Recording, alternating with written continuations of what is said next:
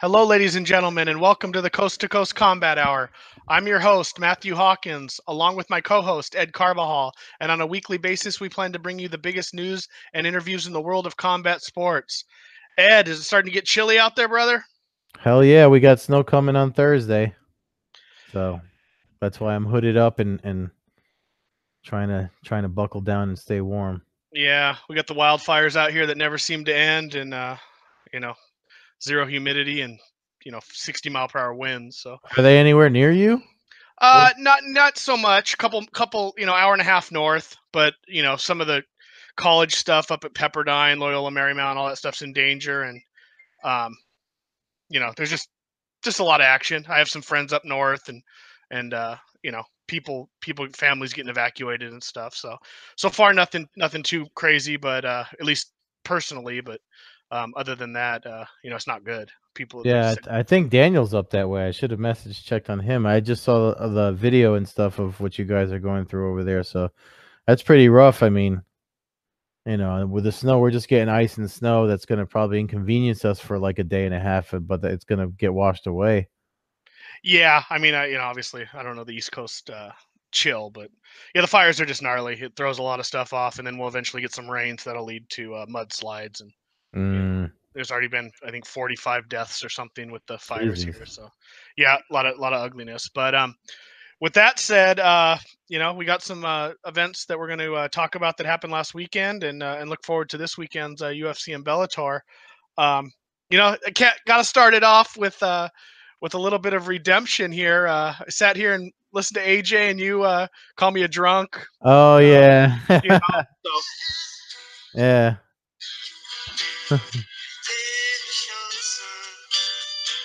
So as Bob Marley sings redemption song uh, in the uh-huh. background, we uh you know, we turns out we got what the fight of the year, maybe the knockout all time knockout in UFC history. Yeah, with, uh, I mean he was I mean, but he was losing.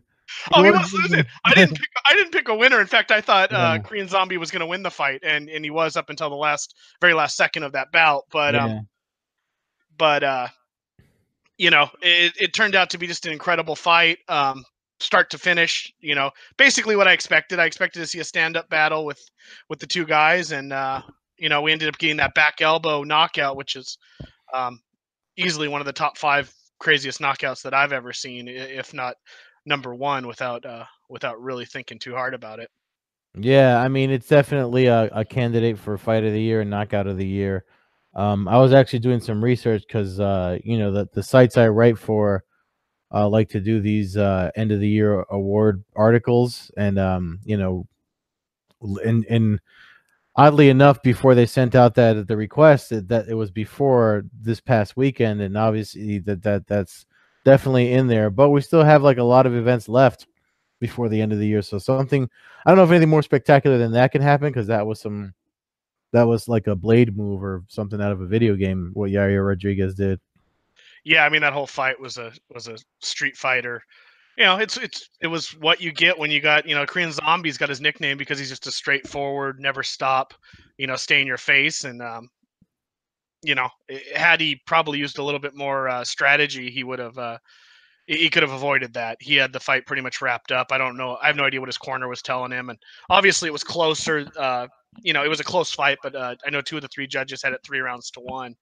Um, I mean, I, I, know Rodriguez does a lot of flashy movement. Do you think that was selling a lot of people over to thinking that it was that it wasn't, uh, you know, three to or three four rounds or whatever it was to to Zombie? Like, do you think people were actually thinking Rod- Rodriguez was winning with all those those uh antics? I didn't hear anybody say he was winning. I know one of the judges had it two two, and I, I, suppose I could have saw that. I mean, the early leg kicks and stuff were pretty pretty brutal. Um, I I, uh, I, I think Zombie won the round one. Um, round two, I think you know initially I thought uh, Rodriguez won. I haven't watched rewatched the fight. Um, round three was real close, and then I think uh, Zombie won round four, and then uh, round five was kind of a toss up. So I mean, it was it was. I guess it could have been considered a close fight.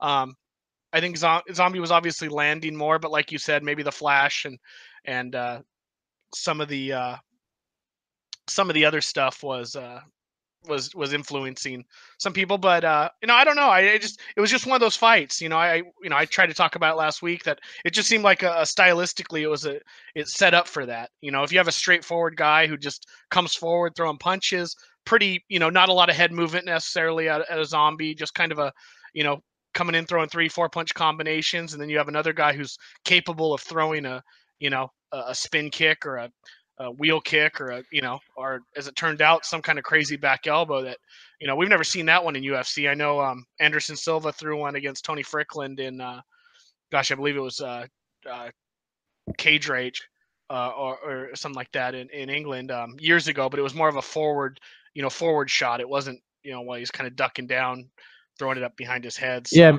I think before that, the craziest thing to on that level we've ever seen was Jon Jones's version of the of the the 12-6 elbow from you know sh- shooting in on a single and then coming over and around with it so that's that was def- definitely i don't know if that was a hail mary from him um, mark La Monica who, who who writes at newsday over here on the east coast in long island he put up some video of the third or fourth round where where he noticed uh, that um that elbow Yair was trying to throw that elbow earlier on in the fight but I don't I, I didn't see it as clearly as he he did I, I kind of I just feel like that was more of a of just uh you know let me try something. He he threw it earlier in the fight, but it wasn't at the same angle. I mean, he wasn't fully bent over. It was yeah. more of it was more of just a, a standing um you know just kind of throw back the elbow. So he was throwing a couple variations. I think maybe he threw it twice.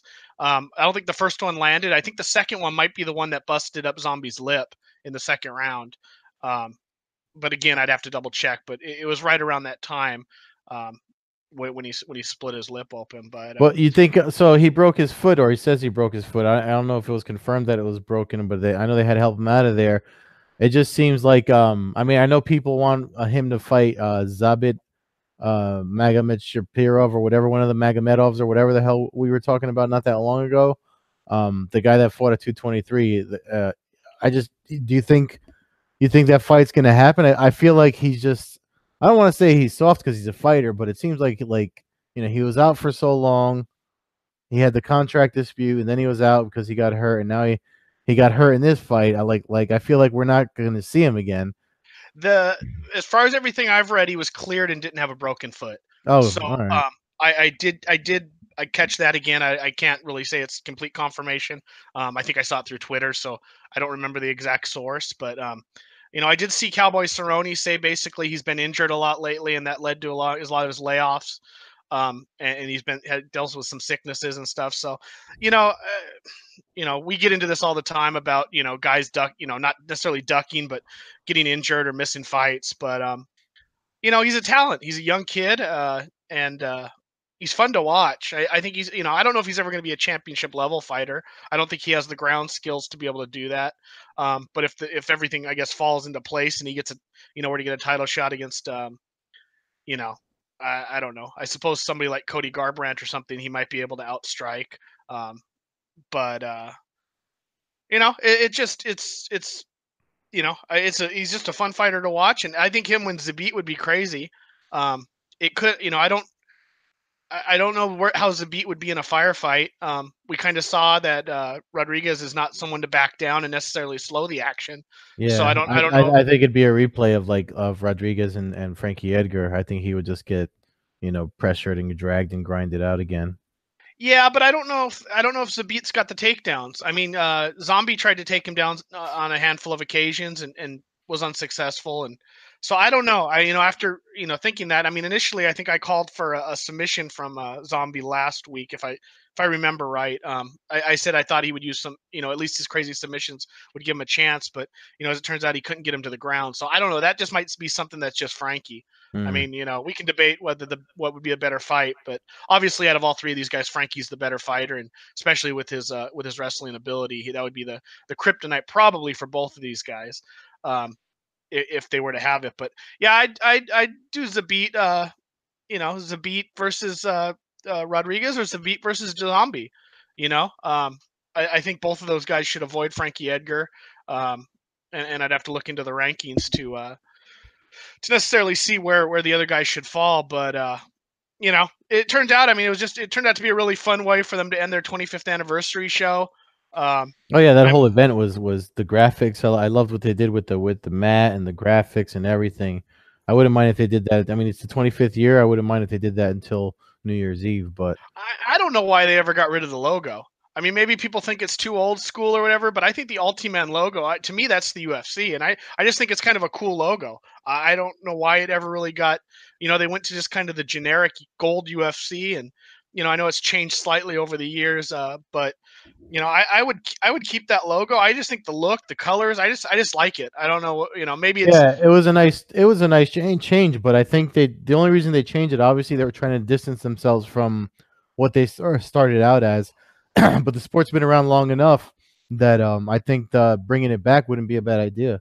Yeah, I just think that he should be in the. I, I think that Ultiman logo in the middle of the mat. I just think it looks classy, and I just think it's cool. I, to me, that's the to me that's the UFC. All this other stuff is is um, you know, uh, high priced, you know, company stuff, and and to me that represents the the the heart of what the sport's about, and that's basically finding out who the the baddest man on that night is, uh, no matter what your style or technique is. Um, with that said, the co-main event.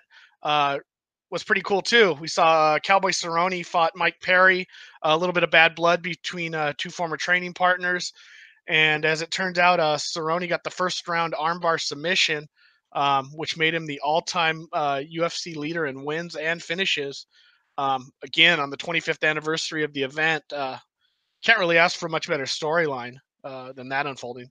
No, no, and um, I mean that's one that I, that I have to confess I got I definitely got wrong for some reason. I thought that uh, I thought it it would be uh, I thought Mike Perry could probably hurt him early in the rounds because of the power and stuff. But you know the thing is with with Cowboy, he's uh he's he's definitely a complete fight fighter and, and mixed martial artist and uh you know like it's like you forget how good his submissions are if you don't see them for a while. You know what I mean? I always thought of him as a striker, a kickboxer, and then I always forget that he of all his submission wins he has, and then that one in particular. I mean, Mike Perry definitely needs to. uh He should have pressured in rather than tried to the slamming and, and pulling away. That's always that's always a recipe for a, for a choke or or a submission. So it was uh it was good. It shows showed uh Cerrone's pe- uh grappling pedigree and his and his uh you know what do they boxers like to call it ring generalship like his cage generalship. Yeah. Well, I mean, he's he's a he's a throwback fighter. He's got Mhm. all the techniques, and and I mentioned it on the show last week that you know I, I actually said something about his jujitsu and and his a little bit of his submission wrestling, which is not really submission wrestling so much. It's more of just a dangerous guard. Um, is jujitsu is really what it is. But um, we we talked about with AJ about the size uh being probably the biggest issue, and and Cerrone being a, really a natural 155er, um, Yeah. fighting fighting at 170, and That was the other reason I was I I I didn't have him picked. But it turned out, I mean, it, it really kind of backfired on not only our picks but on the fight itself because uh, Mike Perry's the one who brought the fight to the ground. It's not, you know, Cerrone didn't get the takedown. Uh, it, Perry brought the fight down and then and then got reversed. So really, it- you know, it was a, it was probably a a, a, a strategical error on on Perry's part to decide to to leave the feet, uh, where obviously that's where he had the power and, and the size advantage and, and kind of went into to uh, you know Cerrone's world as far as on the ground. Uh, you know, in, in that kind of uh, confrontation, I I don't know. I just thought it was an error by Perry, um, and uh, and that's really what cost him the fight. But but again, uh, you know, mad props to Cerrone. I you know, UFC Hall of Famer. I mean, you talk about guys who, who never necessarily won a belt, but are are uh, are no doubt Hall of Famers, and you know, uh, I I think he's kind of leading that charge. Uh, you know, never mind some of the the other guys who already got put in their their Hall of Fame, but just an MMA Hall of Fame in general um, for guys that never won a major. Well, he was a WEC champion, but uh, but as far as uh, you know, guys that uh, or no, did he never won the WEC? He lost to, to Varner. Um, so, but with that said, I mean, he's just a Hall of Fame fighter, always entertaining, and um, curious to see what matchup they give him at 155. Well, the, the that was the thing I was gonna say. That that I mean, I don't know why it popped up. Um, I don't know what what the sources were. It's, it it it didn't look like it was confirmed at all. For last time I checked, anyway. But uh, um, they're talking about uh him and McGregor. Um, I think Scrap Digest or some website put it out, but I, I didn't see where they're getting their information from. And um, I feel like given McGregor McGregor's options and uh, you know where Cerrone's at right now, it'd be a good money fight for him, and and McGregor kind of needs uh uh not not a top two or three fighter at 155. So maybe I don't know, maybe uh maybe that's something that might have legs, considering Cerrone didn't take any real damage. Yeah, I mean it makes sense. I don't think McGregor should should flirt with uh, Khabib right now. I think he should let Khabib go through a couple more fights or, or retire or whatever he chooses to do before he gets back into that mix. And um, Ferguson probably deserves the shot at Khabib or does deserve it. Um, I don't I don't see Conor having a rematch with Poirier, um, even though it kind of makes sense. I don't think that's a fight that he has any real reason or to take. Um, the Diaz fight's just a you know a fight that'd be fun to watch, but we've seen it twice. Yeah, it'd be a uh, big money fight though if they you know, do book it. it. Oh, it, you know, they're with him. And they're all going to be big money fights. I mean, I've I've said it before. I think if he rematches anybody, it should be Jose Aldo. If Aldo's willing to fight at 155, but you know, the Cerrone fight makes sense. You know, it's it's uh again. I mean, I don't. I feel like it's another one of those fights where if if Cerrone's able to get it down to the ground again, Conor has trouble, you know, and, and uh, especially with all the submissions that that uh, Cowboy would throw at him. But I don't know, definitely be a good fight. Um, and I'm curious to see. I know I heard rumors today of uh, Justin Gaethje against uh, Anthony Pettis. Oh yeah, um, that, that one's got better sources than uh, than the the one I mentioned. I know Brett Okamoto even he mentioned that before uh, before I made my way to to do this. I saw that online. You know, the other fight would be obviously Gaethje and uh, Gaethje and, and Cerrone would be a uh, would be a fun one too. I, I know um, I believe there's an event coming up. The first big ESPN event's going to be in Phoenix, so that's kind of a, a good location for both of those guys, or, or at least one of them to be be headlining. So it wouldn't surprise me. But um, yeah, I don't know if he can get the McGregor fight. Good for him, man. Let him get a gigantic payday and and uh, and see where he's at as far as you know. That would tell us where McGregor's at too. He's either he's either fallen below the top five or or he's still uh, you know still in the mix with with all the big guys in that division. Yeah. Uh, there's a couple of standout fights from that fight, uh, Denver card though. I mean, you know, I, I, I think Maycee Barber picked up uh, a lot of fans. Uh, if people hadn't been following her from LFA, I, I have, so I kind of knew she was going to win. I mean, she, uh, I know people were giving her uh, she had a little trouble making weight or whatever, but I mean she's definitely uh she's definitely a little a little fire starter for her division. So uh I think she's we'll the, see a lot more the, her. She's the twenty year old strawweight or 21 year old strawweight or something that's yeah she uh, she's aiming to ba- break uh, Jon Jones record as the youngest yeah. UFC champion ever. She still has a couple years on that, and obviously she's going to need that to kind of work her way up. But um, I I love it. You know, I, I the violence she showed and the and the the willingness to you know like i said i don't want to see anybody get maimed but um, that's their job and, and yeah. she certainly she called out mackenzie dern which i thought was weird i don't i don't know if it's weird i mean i think it's a fight that but i don't know I don't know. I don't know where Mackenzie Dern is right now. I don't know if Mackenzie Dern can make 115. That's why I thought it was weird. Yeah. you know, but if you're throwing out a name against somebody that you're not afraid, you know, if you think your ground game's strong enough and you could beat somebody up, then you know, you go for the name, I guess. I yeah. Um, I, I don't know. At 115, you know, uh, you know, it might be too early, but I don't know. We just saw Carolina uh, Kowalkiewicz get knocked out. You know, if she really wants to shoot up the board and fight a top five, maybe that. But even then, that that seems like it might be too extreme. Uh, you know, maybe maybe somebody like um, uh, Angela Hill or or Alexa Grasso or something like that would be more of, uh, of the next step for her um, in trying to get in the top 15, top 10 rankings. Yeah. What was the other fight that stood out to you? From that night, uh, I mean, obviously the the one um, controversial. I guess it was a controversial st- stoppage with Chas Skelly, with the uh, the choke that really wasn't in, and and um, the ref, uh, who, who was his opponent was making his debut. What was his yeah, name? Bobby Moffett. Yeah, yeah. That one, yeah. that, that one stood out only because it. Should, I don't think it should have been stopped. And and uh, I mean, um, if you if you listen to Kelly's multiple explanations of how he was escaping that choke, that's that's how you escape it.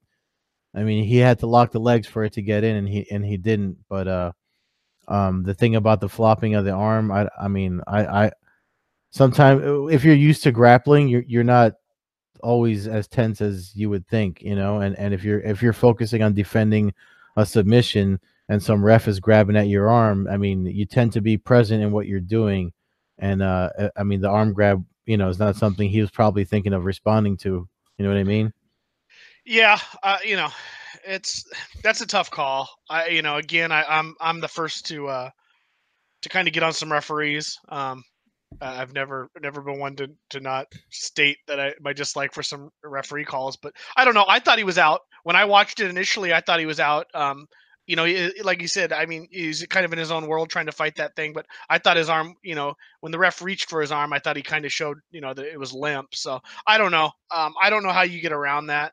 Um, you know, we've also seen other refs not stop fights where people are choked unconscious for for seconds, if not minutes, and and you know, if if something's going to kill somebody, that's that's what it's going to be. If if uh, an incompetent ref uh, doesn't stop a fight, yeah, so I don't know. It's it's that's I I don't know how that works. Um, I think with something like that, we have the replay now. I think if they can go to a replay and see that it's in question, I eh, you know. Well, they called it a TKO officially because of the replay thing, which was weird. the TKO, I saw John McCarthy comment on that and say that that's not even possible. There's no way it could be a TKO. It's either got to be a technical submission. Oh, I mean, that's there's only there's only one. It's not a TKO. It was as yeah. a result. It was a result of a. I mean that that's what they said and put on the screen though. That's what I'm saying. Like that that yeah. just threw everybody off. That it was just even the, even Moffett's uh, win was a little marred when they interviewed him. He wasn't too happy. He was just kind of like, yeah, this is not really the way I want to win. You know, but yeah, no, I, I I don't know how you go about it. It would be a cool way if if we could just you know maybe they I don't know it's tough thing. I, it'd be cool if they could somehow split the winner's purse and then it's instantly re-signed for, you know, 60 days from now or, or 90 days, depending yeah. on how, how much injuries take place up until that until that moment in the fight. I don't know. I, I think it warrants a rematch though. Yeah, I mean, I, if if the guys want a rematch, and I say that. Otherwise, you know, I don't think it's really a loss for Skelly. I think everybody kind of knows how it went down, and and you know, I don't think he's going to penalize him in, in the rankings as far as moving up. But um, yeah, I, I don't know. Um, you know, uh, one of the other ones, your champ de Randamie, uh, won another boring fight over uh, Raquel Pennington. You know, I went to get food when that fight came on. Like, not for nothing. I, I knew she was gonna win. I, I actually picked her to win by decision because I, I know she's strong for her weight class and she's good at it. But like you said, it's just uh, it's not something I, I feel the need to see. Yeah, I just don't feel like she really puts herself out there to try to uh, try to ever finish fights and and I don't know what happened to Raquel. Maybe that loss to uh, Nunes took it out of her, but she seems like she's uh, she's kind of sailing it in at this point. I, I, don't know if, or I just don't know if she's at a level now where she's fighting people that that are just I, above her level. I do have to say though, I mean, uh, uh and, and you know, like we can have our criticisms over fighters and their fights and stuff, but there's a line that should be drawn. I mean, de Randamie did an interview uh, during fight week. Uh, I think it was with MMA Junkie where she she was telling said people were saying I'm coughing and I'm not I'm coughing I'm not laughing. Um, people were saying uh, that she should kill herself because of uh, the UFC 208 thing, and I was just like, how messed up is that? Like that's not even that's not even like I I'm critical of fighters and and I'm not that happy with you know her performance, but you know you could just not watch it. Like I said, I went and got food. You know, yeah, like that's that's just pure nonsense. Yeah. I mean, I, you know, the fight with Holm was that was a little bit of both. Um, I don't I don't think many times she's going to fight Holly Holm and finish Holm. I think that's a fight that's bound to be kind of a, a snooze fest or at least a, a stalemate for most of the fight. This fight, you know, I, I feel like if you're the former or the however you want to call her as far as whether she's the champion 145 pounds or you know she was crowned it you know and, and technically never lost and hasn't you know but you gotta you gotta be able to go in there and try to try to finish somebody like Pennington. I mean, we talk about somebody like Maycee Barber making her debut, and she's obviously not fighting somebody at of Pennington's level, but you know, you got to go in there for the the, the kill. Um, yeah. You know, and I just don't see the I don't see that in de Randamie. I feel like when she was a younger fighter, uh, maybe in Strikeforce, and maybe I'm delusional thinking about it, but I just felt like she was more of a dangerous fighter and and tried to tried to finish people in her fights. So I don't know. Um, I don't know if it's the, the UFC thing as far as maybe she's worried about losing a fight and, and getting sent packing. Um, obviously, yeah. the UFC is not happy with her. Uh, they uh, she was about the only fighter I saw that won a fight that didn't get an interview afterwards. Um, so wow, yeah, I didn't even think about that. So yeah, I don't know. I don't know. I, obviously, they're not happy with her, and as long as she wins, they can't really do much about it. But um, yeah, that's true. but if she loses, you know, and I don't know if losing is the worst thing in the world for her. Um, she could go to Bellator and fight at 145 there. There's matches with Julia Budd and, Yeah. and some other people that you know. Cin- Cindy Dandois was talking about Bellator. I know. We, I know we're going to talk about that uh, next. Um, that's this weekend. Uh, Two oh nine. Cindy Dandois is on that card. I didn't even know that. She. she Yeah. was- she has a one fight deal with Bellator. I think it's one of their ones where they give people a one fight card and then or one fight deal, and then if she wins, she gets to uh she'll get a longer extension with the with the yeah, because she, she she was doing a bare knuckle thing. I know she did that. Uh, cup one or two fights, right? Or she she did no, no no. not bare knuckles. Rizin. She did Rizin. Rizin. I'm sorry. Yeah. Yeah, she fought she fought in Rizin. She fought um King Reina and actually got the win. Um, yeah. which was you know I guess an upset as far as most people thought I mean, the I- but I think that's telling of, of especially with all the trade talk. I think that's just telling where Coker and Bellator. I mean, those fighters. You, I mean, we could probably see Daron Cruickshank come come into Bellator and fight for something on short notice one day. You know what I mean?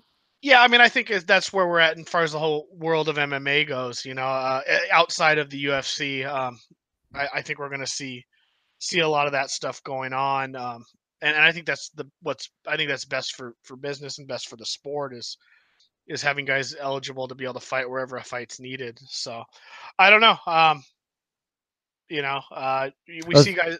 I mentioned the uh, the bare knuckle thing. I know you said you you saw the the the new one, what, WBKFF or whatever it is. Yeah, the world, uh, the World Bare Knuckle Fighting Federation. Um, What's the deal with them? I saw I saw Boss put something on social media where apparently they had some troubles getting the event going or money issues or something. yeah, I like think I think um, without reading too deep into it, I think uh, basically I took it as one of the guys. Somebody in the organization took some ma- money and ran, ran with it. Hmm. Um, so some one of the early investments or or something was taken.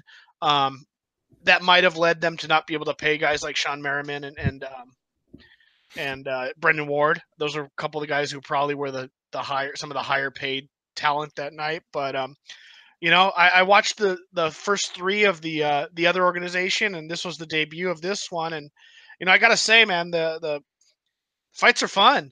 Um, I, I know you haven't really caught up on a whole lot of them, but um, I mean, this event was as good as as uh, any of the other ones that I've seen, and um, I mean, the fights are exciting. Um, on this card, you know, a couple notable names is Robbie Peralta uh, is in the lightweight tournament, and uh, and he put a uh, put a beating on somebody. He's a local fighter to me, former UFC fighter, uh, former Strike Force fighter. Um, I mean, he just turned a guy a guy uh, guy's face just. I mean, he just cut him up. I mean, it was it was it was pretty brutal.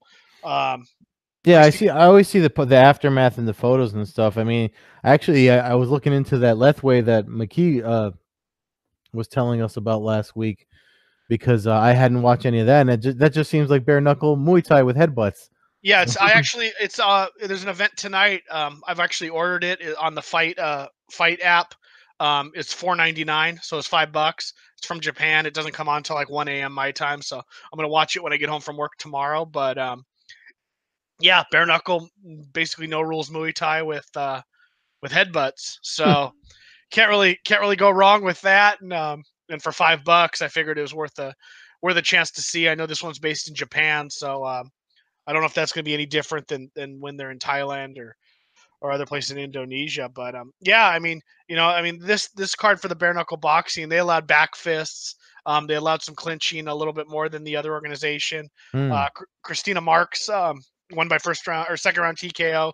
She's the uh, runner up from the Ultimate Fighter uh, season. I can't recall exactly what season, but it, uh, obviously there's only been a couple female. any any body UFC. shot knockouts? Uh, not body shot. Uh, Julian Lane, uh, let me bang, bro. Uh, again from the Ultimate Fighter, he won a, a split decision in, in a close fight. Hmm. Um, Dakota Cochran, who took the bout, uh, took the spot, took the spot of uh, of Brennan Ward against Johnny Hendricks, kind of shocked everybody, and he uh, he knocked out Hendricks 20 seconds into round two. Um, I mean, just blasted him, blew his nose up, oh uh, wow. just blood, blood all over the mat. Um, I mean, he basically just beat the hell out of, of Johnny Hendricks, which um, I think it's time for Hendricks to hang it up. Um, Yeah, I mean, uh, you, I mean, people are going to the bare knuckle thing because to kind of like lighten up their, uh, you know, their uh, training regimen or, or you know, just focus on the one thing instead of many things. But if, if he's not making it there, then yeah, yeah, I think he should hang it up. Yeah, I mean, I just don't know. I uh, I feel like he's one of those fighters that just uh, fell in love with his hands after his knockouts of of uh, who do you knock out Fitch and uh, and Kampmann. Um, you know, I mean, that was prior to him fighting St. Pierre, but he just, you know, one of those guys who kind of fell in love with his hands. And, you know, if anything, it, with his wrestling, he should be doing something like Submission Underground or, you know, I mean, hell, do EBI or something. I mean, I don't think he's submitting anybody, but, um, you know, if he wants to go in there and just try to wrestle some people and, and look for a head and arm yeah. choke or something, you know, that's the stuff that he should, if he's just trying to make some extra money, um, that's what he should be doing. I, I just, you know, bare knuckle boxing thing's no joke. I mean, these guys, you know you don't you, you take it lightly or you, you come in a little out of shape and you, you get your face rearranged and, and some serious some serious damage can occur um you know the, the main event that night was chris leben and phil baroni and um you know i don't i don't like to throw this out too much but it seemed to me like baroni basically you know i don't want to say through the fight but um certainly didn't want to fight um, he came basically in shooting takedowns in a bare hmm. knuckle hmm. boxing match. That's um, weird. Yeah, I mean, and then and then you know, Leben after about the third time of him coming in, um, almost shooting a double, uh, timed it and, and just drilled him on the temple and, and face planted. Yeah, him. I saw the highlight of that. He got on the left hook to the temple. That was uh that was a good move. I mean, but I didn't know I didn't know it was takedown attempts that led up to it. Yeah, I mean, you can't really do a takedown, but he just charged across the ring. I don't think Baroni threw a single punch. Mm. Um, so watching it with with my cousin, I just kind of, you know, I commented. It just seemed to me like you know, I, again, I don't know the money situation, and if Bas Rutten's the head of the organization or, or one of their reps, um, obviously they have credibility in my book. But I just felt like it was almost one of those things where Baroni didn't think he was getting. In my mind, it looked like a fighter who who didn't think he was getting paid that much and didn't want to risk getting injured, so he was just going to either kind of push it across, try to grapple, and and run the clock out, or get disqualified, or you know, it just seemed like he didn't he wasn't in there to fight. The look on his face. Um, the whole situation, and then I mean, and then he got drilled. So again, it's one of those things where you know, Leben, Leben, if he can stay healthy, and and I know he's had some some serious health issues that that apparently got cleared, but you know that's a sport where he would he would probably thrive. Yeah, he was definitely know. uh yeah, he's definitely a heavy-handed guy.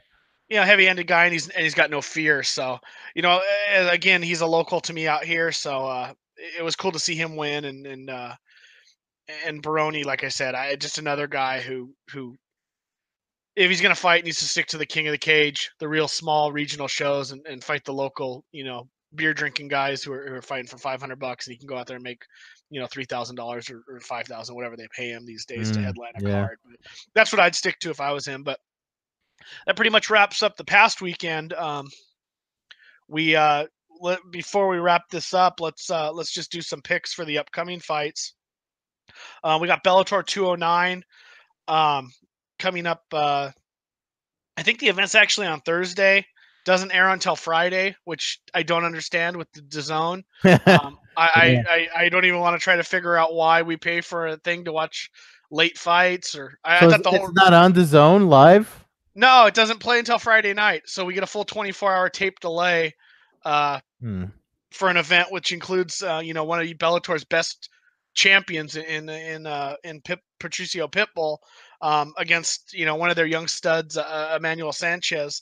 Um, I mean, you couldn't really have a better fight at, at featherweight in Bellator. And again, uh, basically, you'll have to stay off social media for 24 hours unless you want to risk seeing who won that fight. But um, you know, as far as a pick goes in that fight, I don't, I don't. Uh, uh, part of me just uh, thinks that Manuel Sanchez might be uh, might be kind of taking that.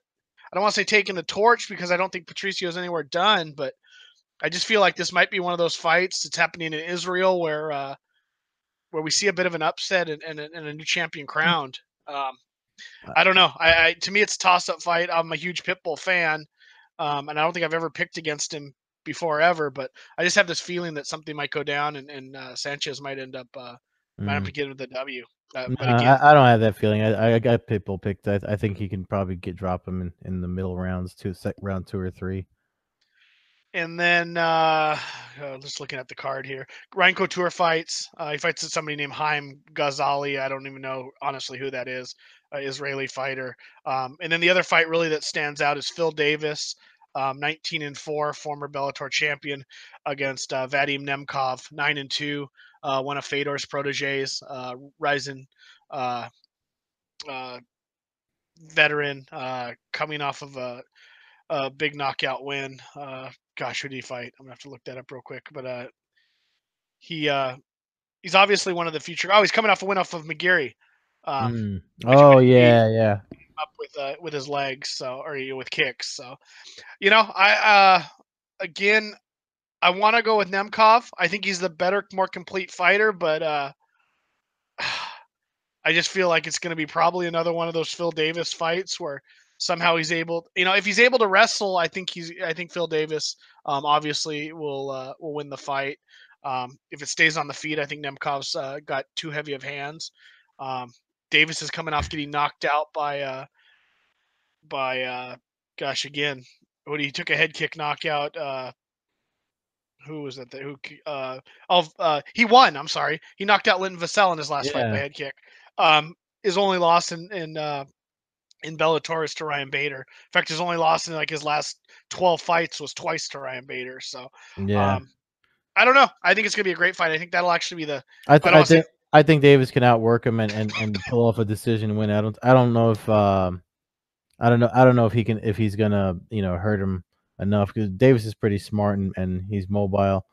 But I mean, you never know what, what fighting on that side of the world can do for folks. You know, like like it could it could change things, especially if they have. Uh, I always think about uh, Fernando uh, Gonzalez that we had on the podcast with his fight that we talked to him for, and he documented his whole journey over there, and um, you know the the the problems he had just getting to it. Like if anything like that is a factor, I always just wonder if, if that is going to affect the fight. But otherwise, I mean, as far as their, their preparedness and their skill set, I, I think we can see.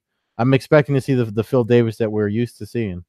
Yeah, I mean, uh, you know, I think for the sake of the Bellator light heavyweight division, I think a Nemkov win would be would be ideal. Um, give a chance for some new blood. Um, depending on obviously what happens with Bader and his fight with Fedor for the heavyweight title. I don't know if he ever plans on dropping back down to light heavyweight or if he's just going to uh, kind of live the easy life and not cut weight and, and and stay at heavyweight after that. But um, yeah, I don't know. I think I think it's a good fight.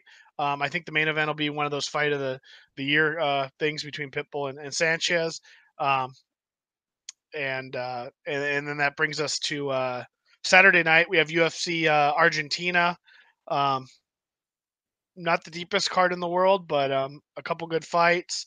Uh, main event: Neil Magny against uh, Santiago uh, Ponzinibbio. Bibo. Um, and if you want to try to say that, there you go. Um, uh, I, I think Santiago uh, Ponzi uh, pulls out that. I think Magny had his run where he won six, seven, eight fights in a row, whatever it was. Me too. Uh, but I, I think that uh, I think his run messing out with the, the top of the division is, is going to catch up and and uh, and he'll go down. Um, Yeah. co-main, co-main event should be a fun one though. Ricardo Lamas and Darren Elkins, uh, two guys who generally leave it in the cage. Um, I, I, I see La, I see Lamas uh, yeah, winning that fight. I think I'm leaning Lamas too, just because uh, I I feel like uh, he's he's still got something to prove. Yeah, I think Elkins just takes too much damage. Um, even though he's a, I mean, he's awesome to watch and uh, extremely talented. I just think he takes a lot of damage, and and Lamas knows how to give out damage. So um, I don't know if uh, a punch from Lamas could could could put him out. Um, that kind of wraps it up. That's the main fights there. You know, Khalil Rountree fights. Uh, Cynthia Calvillo is on the card. Uh, Michael Prazeres is on the card.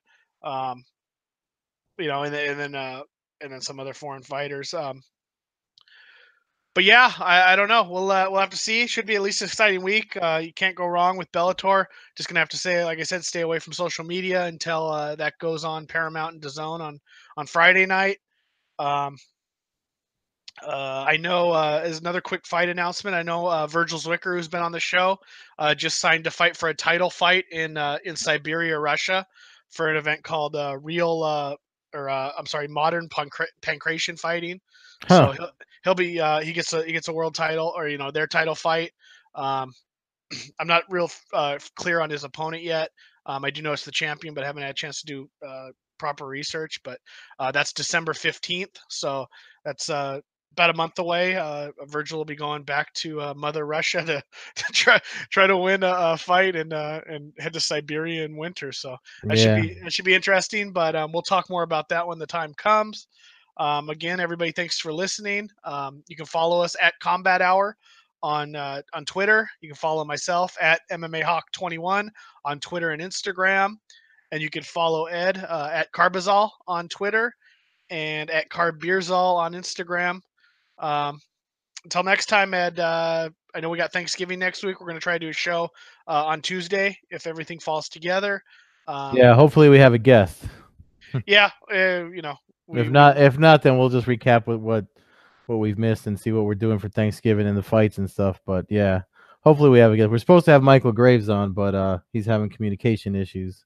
Yeah, So- we try to have a guest every show, but um, it's it's not as easy as it sounds. So uh, Yeah.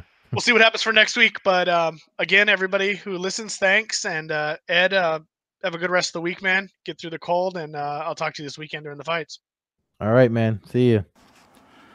Okay, uh, Michael Graves, thanks for taking the time to, to talk. I'm sorry we had to play phone tag and stuff. I, I know uh, you were having some issues with communication, but uh, I'm glad I finally got you on the phone.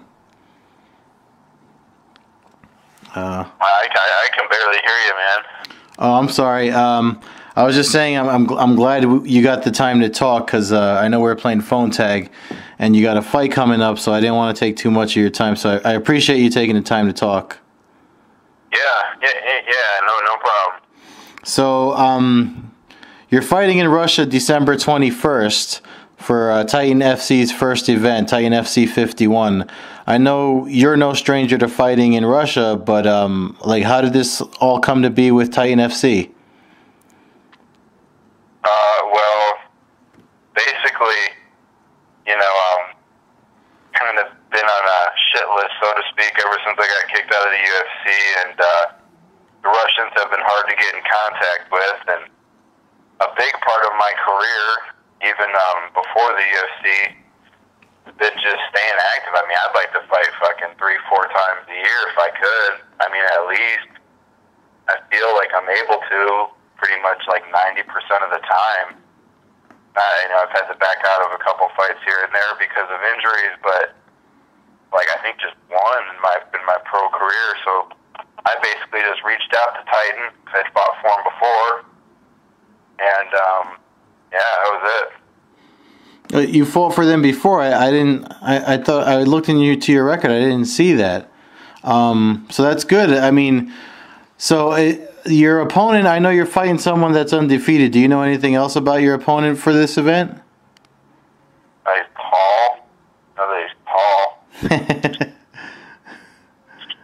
Just that he's Paul. So is he? I mean, I mean, you're you're you're uh, in your prime. I know you said you're on on the the shit list with uh with the UFC, but um, I mean, like obviously you're young enough to to still make your own way in the sport. Do you um do you have any preparation that you do to fight uh in Russia? I mean, it's it's it's not it's not the same as fighting in the states. Obviously, you have to worry about travel and jet lag and stuff like that. Yeah, actually, I do the first time. Uh, obviously, when I fought in uh, Russia, I got my ass kicked. It didn't really go my way. There was a lot of things off the mat um, that I could have done different going into Russia, like um, bringing certain things with me. Um, uh, you know, my training was good, keeping my head straight, basically now, and especially when I travel overseas, I basically have like a little action plan. You know, things that I'm going to take, how I'm going to prepare myself. You know, like what if they, what if I don't get per diem when I'm over there? What if this doesn't happen? What if that doesn't happen? You know what I mean? I'm making sure that I got, I got my, you know, my ducks in a row, so to speak. I guess whatever. So I know uh, you had left me the message before when we were trying to get in touch with each other that you're you're training three times a day, and um, obviously with with uh, the fight, I mean it's it's December twenty first. It's it's a little over a month away. Um, but like how how are you handling how are you handling the the your your schedule with being prepared to fight and getting ready here versus getting over there like uh, mentally i mean do you lose sleep do you, do you change your sleep cycle i know some guys will start training at the time that they know they're going to fight uh, compared to here like like if it airs you know like if a fight airs and it's like 2 a.m here the guys will train at 2 a.m here is that something that you do Fuck no. no. Hell no. so It'd be so hard, I think, to get everybody together at 2 a.m. I don't. I think. I think I'd be the only one in the gym. I don't even. I don't know how active. You know, um, I usually to get over the jet lag. I usually like when I say I train three times a day. Like I'm not sparring three times a day. I just um, a big thing with me is not putting put too much pressure on myself in the gym. Sometimes I'll go in there with like a crazy amount of stuff that I want to do, and it just gets to the point where I become unmotivated because it's so hard to do all these things. So over the past couple months, I've just made it a point to get to the gym every day, and you know, some of my workouts might just be stretching. Like I've, I've just started taking yoga regular, like you know, like two, three times a week. So that's not a real hard workout, but it's a workout. You know, I sweat a lot in the class, and you know what I mean. I just make it Yeah. a point to try to get I- to try to get in the gym every day. And when I get over into Russia, I usually just try to sleep when I first get there. You know. Hmm, because uh, this does this when you sleep, are you just catching up to their their cycle over there? It seems like I don't know. It just seems like like like that's a rough trip. I know um, we had interviewed uh, uh, Fernando Gonzalez who fought over there uh, earlier in the summer, and uh, like his flight got delayed and stuff like that. So that's the only reason why I was asking because I know I, I, I he lost he lost a decision in his fight, and I feel like the aggravation and the stress of just trying to get there and everything with the time difference kind of Yeah, had. yeah. It, it's funny you say that because you know, obvious, obviously they want the hometown guy to win, right? Yeah, So like, one, like, one thing they'll do is they'll like, uh, because you got to have multiple flights in the states. Like usually you'll, like, let's say I'm leaving out of Atlanta, right? I'll have to stop at like JFK, and then go from JFK to like wherever the fuck I'm going in Russia, and then wherever I got to go to my final destination. So what they'll do is they'll make like like let's say you land from Atlanta to JFK at like 5 p.m. They'll make your flight at like 5:30 from JFK to like Russia, so there's no way you make it. So they like you know they'll try to sabotage you like that Sometimes. oh my god. I don't know. Maybe they don't, but I've seen it a lot. It seems. You know what I mean? Yeah, I do. I do. I, only because uh, Gonzalez like documented his his whole thing on social media, so that that's what made me ask the question. Um, your opponent, your opponent's name is Greg Ellis. The um, are the guys on this card? I mean, is it is it like a U.S. versus Russia, or, or are they just bringing guys from Titan to fight there and, and mixing it in with the uh, the Kazakhstan uh, promotions uh, fighters? I think they're just bringing in guys to fight. Because some of these guys, I mean, I'm looking at the names on the card. Obviously, the main, the, the, there's only two names on the card that looks like they might be f- local from around there. Um, but you're like, you're no stranger to fighting there. But uh, have you ever fought in this region of Russia before? Is it in? Is, is that? Is it in Russia? Is Kazakhstan in Russia? I think so. I mean, is it's uh, I don't know. I don't. I don't. You know, I don't. I never really worry about. I mean, it's not. I do, but I don't. I don't know where the hell I'm going or what I'm doing. I know I'm going over there to fight, trying to keep my weight under control, eat. You know, keep my eating under control, make sure that I'm getting, you know, a good sweat in every day, and just focusing on my opponent. If he, I do like the fact that that's that's my, my my my opponent's American because Yeah. then he's got to make the same trip with me, so it kind of even even evens the playing field a little bit. Yeah, that, that's my mistake because I'm going off of the press release. I mean, uh, Russia is one of the places that Titan FC's uh, planning on going to, along with Kazakhstan and Tajikistan and the Netherlands and Brazil and Cuba. So I just it's their first it's their first foray outside of the, the United States. So my mistake. Sorry about that. I mean, again, we're talking late after we've been playing phone tag, so my, my brain's a little fried too.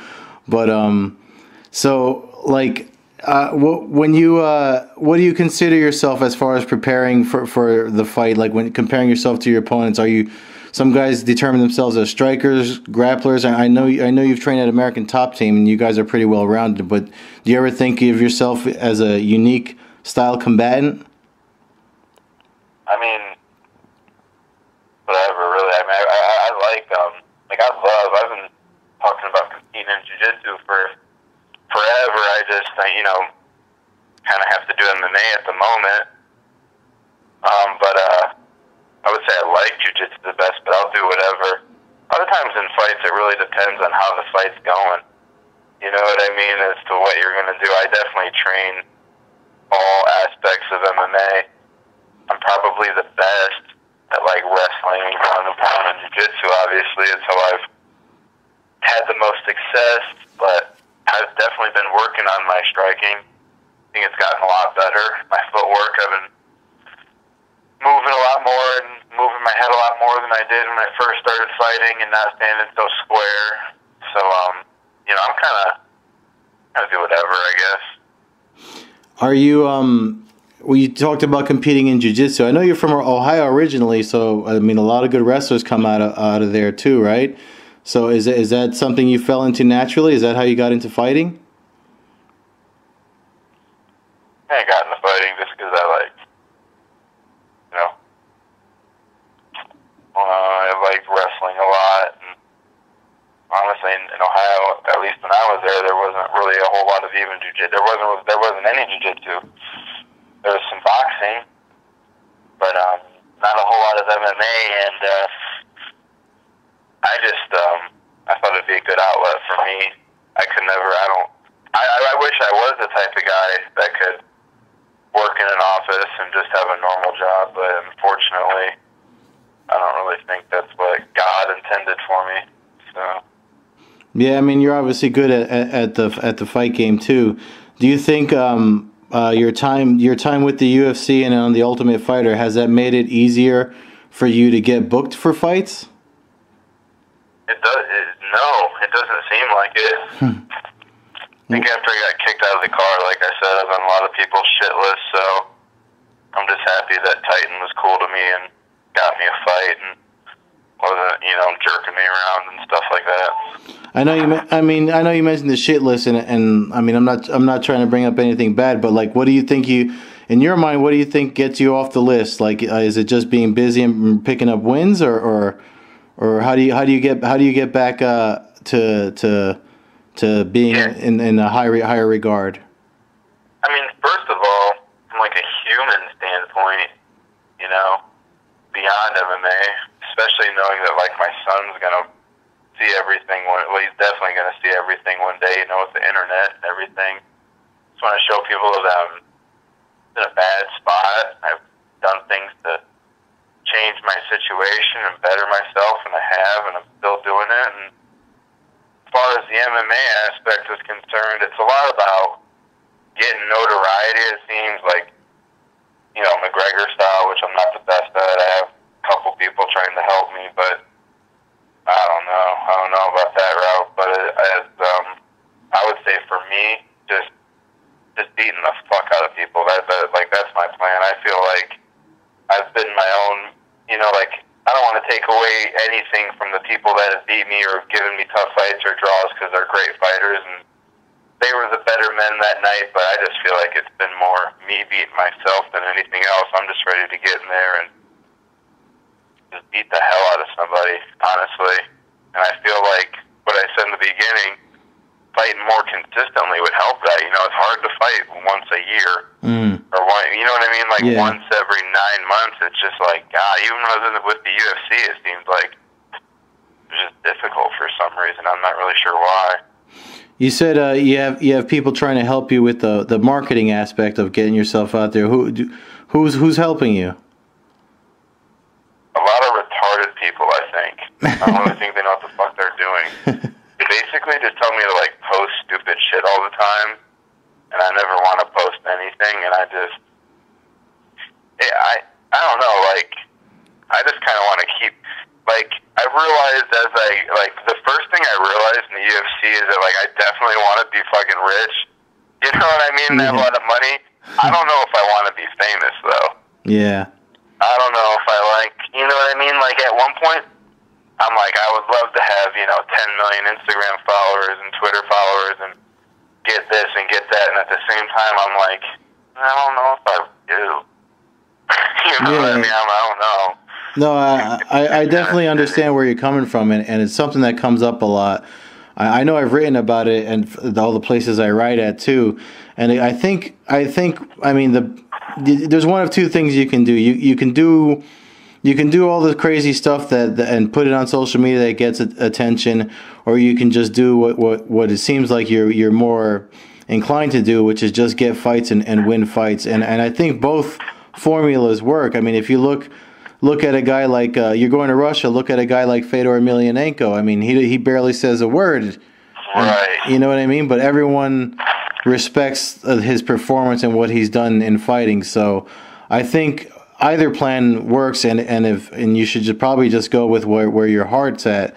So if if uh, fighting for Titan FC and fighting in Russia is, is or and wherever they're going to go. Uh, Kazakhstan, Russia, wherever. I keep saying Russia. I'm sorry. That, that's my fault. But um, you know what I mean. Like, like I think you can get the. I think you can get to where you want to be just by fighting and winning. So I mean, maybe post training footage and stuff like that. You know what I mean? Or or post post uh, some grappling matches. I mean, I don't know what they're telling you to post because it seems like it bothers you, but uh, you know, at least for your own documentation and your own research, and to see where you're where you know what you're doing right and what you're doing wrong. I mean, I, I think fight fans like seeing that. Um, I don't know if you, you agree with that at all, but maybe that's that's a way you can go. What do you think? It's funny you say that because I do agree with that. And part of me like doesn't want to reveal any of my like ancient kung fu secrets. You know, I got a lot of stuff I do in the gym that I don't want people to rip off.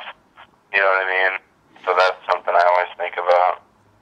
Yeah, I mean, um, it's funny that, you, you're mentioning about like like a lot of people mention that too, but so like uh, I covered the Bell, uh, um, Bellator 208 when uh, Ryan Bader and Fedor fought each other, and I was there for the fight week, and and uh, during the um, the fight week open workouts, the the what Ryan Bader did to to um, to his opponent the the Friday before to we did to Matt Mitrione because those events were back to back. So when he when he faced Matt Mitrione, the the takedown drill that he did at the open workout was pretty much what he did to Matt Mitrione. And um, I mean, I don't know. I think if you're really good at it, I mean, maybe don't be so shy about revealing it because if it's you one of your strongest uh, one of your strongest assets, maybe your opponent won't be able to stop it. So.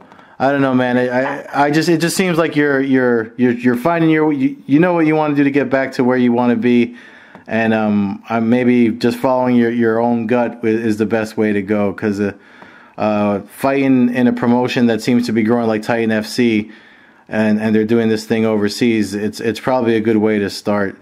Um, so, are you excited about it, or is it stressful? How are you handling it? I'm happy to have a fight. Like I said, I've been training good.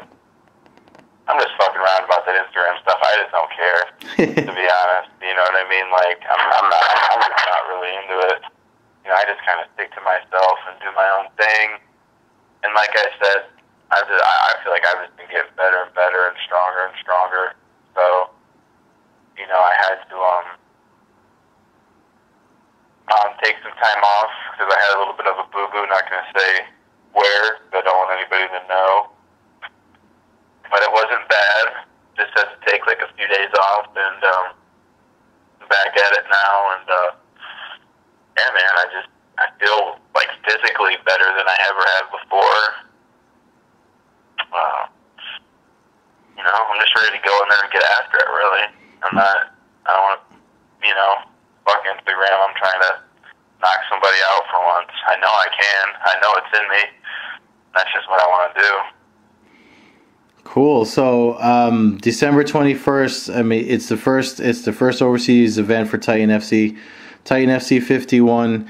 I mean, you're on the. You're one of the featured bouts on the card. Um, I'm pretty sure whatever you do, you won't have to worry about posting the the UFC fight. It's airing on UFC Fight Pass, so I think it's a good uh, path to get back on the people's good graces for what you want to do. I mean, you're what are you? You're 27 years old, right? You're I mean, you're still young. Yeah. Is that young? yeah, I mean, younger than me. so feel old. Feel old as shit. no, 27 is a good age, man. Trust me. Trust. Take it from a 43 year old. I wish I was 27. Um, hey, well, would you do? Would you supplement? Like, I mean, you said you like competing in jiu-jitsu. Have you ever looked into? That's getting pretty popular now. Have you ever looked into doing that on the side, like, uh, like um, fight to win or anything like that? Yeah, yeah, man, for sure. Honestly, and, I, and I've tried to put myself out there a lot. Like, I wanted to go to the the AD, ADCC trials in New Jersey, but I just couldn't swing that with my work schedule. You know, I still got to work a little bit 'cause I'm not making that much money right now. Yeah. And I tried to get a guy to grapple me at like a local venue we have in Atlanta, and he was gonna do it. Now he's not gonna do it. You know what I mean? And it's like, I don't know. I went to a, uh, I went to a Kakudo tour- t- tournament like a year ago and got second. It was like a, um, like a grappling tournament. Yeah. Tournament, a- absolute no gi, and I did. I thought I thought I did pretty well. I went against a few guys who had a lot of just jiu-jitsu experience, and I thought I did real well. And um, What what yeah, division? I mean, I mean, I would love to compete in jiu-jitsu. I would, I really like it. And I think, I think people would be surprised at how good I do. At, you know, honestly. If you don't mind me asking, well, what division did you compete in? I don't know, man. I don't even. What, what are the weight classes? no, like like what, what was it by rank or or uh, experience? what? Do you remember if it was by rank or experience? Like were you like blue belt division or? Oh, um, no, I'm a purple belt, but I would probably go the where like the highest nogi. Yeah, I mean, I'm pretty sure you, you could get featured if you were on a fight to win pro. So maybe uh maybe you should uh, uh like follow them, try to reach out to them. I I would I I follow those events and cover them too. So.